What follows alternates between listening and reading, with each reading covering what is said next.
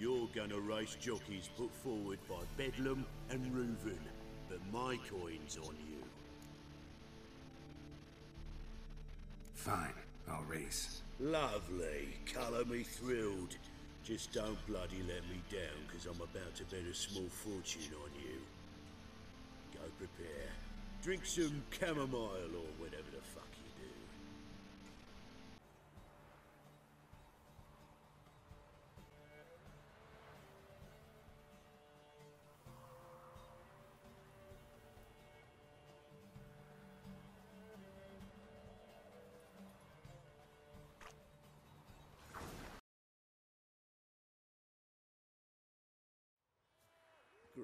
fuck. Could have whittled myself a jockey out of Birch, stayed in with Pierce, and he would have done better than you. Shit happens. Oh, you sure fucking do. Temple Guard! I'm fucking done here.